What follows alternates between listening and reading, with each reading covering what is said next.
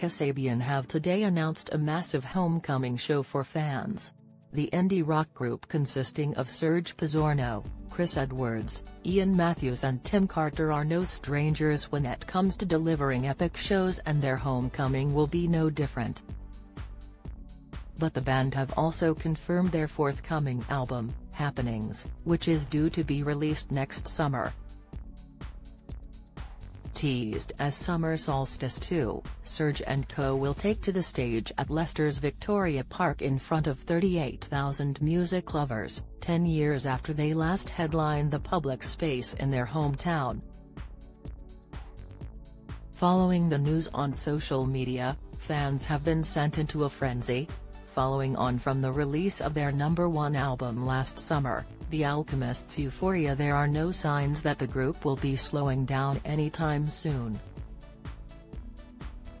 Speaking about the upcoming event, Kasabian said, We are truly honored to be playing Victoria Park in our beloved hometown, with all our people for summer solstice too. We cannot wait to get out there and play the biggest party of the summer with you all.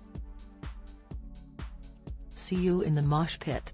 But an electric show isn't all fans can expect as the Kasabian lads also announced that the Kaiser Chiefs will be joining them as a support act, with more to be announced in due course. But while their last headline slot at Victoria Park may have been 10 years ago, the Rockers performed a secret set at the venue in 2016 to celebrate Leicester City winning the Premier League. Speaking about the show, Serge told Sky News, it's creating memories, creating things that are etched in your brain forever, seeing something like this in your hometown, you know, the sound, the noise, the music, those memories, that's what you take with you when you look back on your life and it's like, you've gotta be there, you can't miss it, you can't let this happen and not be at that gig, you know? It's creating those moments and doing it where you're from and inspiring the next wave, hopefully, of young kids in Leicester seeing it happen and then them starting a band, that's kind of what it's all about meanwhile, Chris added, it's 10 years after the first one, it's something we've always wanted to do again, and it's something that we can give back to the city. There's no big arena in Leicester, so this is our arena. This is where the big shows happen. And so to be able to do it again is just a privilege. Reacting to the news, singer Miles Kane exclaimed, Here we go baby, count me in. While Example added, love to see it. Although celeb fans were ecstatic as one typed, it's going to be the biggest day of the year.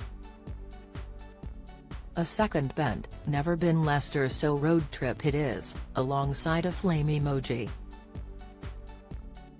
Meanwhile, one joked that the group should change the date as it clashes with the Euros quarter-final and the British Grand Prix.